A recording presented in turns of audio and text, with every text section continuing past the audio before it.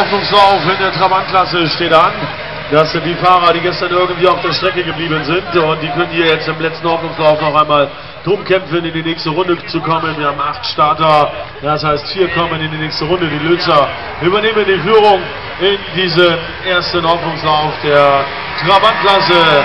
Machen sie sich startbereit. Und Lötz ist auf Platz 1 unterwegs. Lötz äh, führt das Feld an. Sie sind vorne mit ihrem Gefährt.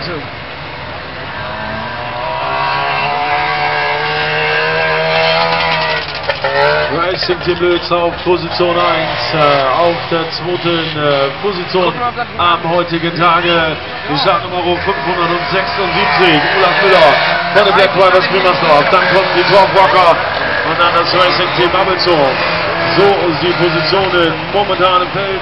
Hinten dran Crazy Nightmare Racers mit Dana am Steuer.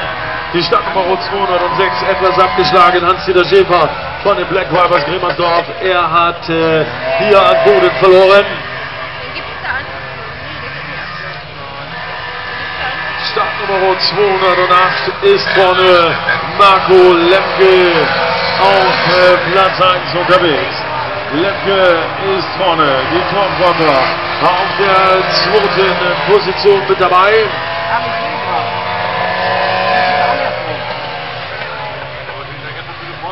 Zweiter Platz äh, für die Torfwalker und die verteidigen sie auch tapfer. Marco Lemke setzt sich immer weiter ab. Der dritte Platz äh, wird hier weiter hineingenommen von der Startnummer 576 Olaf Müller, Black Drivers Grimmersdorf.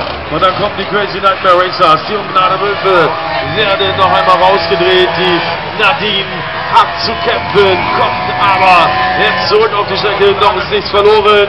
Wir sind in der letzten Runde im dritten Ordnungslauf am diesem Rennwochenende. Und er wird genutzt äh, von den Lützern auf 1, die Torfrocker auf 2, auf 3 die Black Dwarfers Grimmersdorf und der vierte Platz geht an Crazy Nightmare Racers mit Startnummer 281.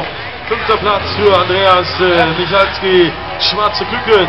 Dann kommen noch einmal die Black Dwarfers Grimmersdorf mit Hans-Dieter Schäfer über die Ziellinie und auch die Ungnader Wölfe werden abgewunken mit der Nadine am Steuer und der Startnummer 400.